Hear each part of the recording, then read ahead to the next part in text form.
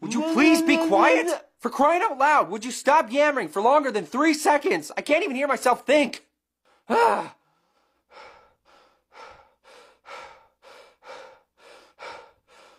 Hey, Apple. What?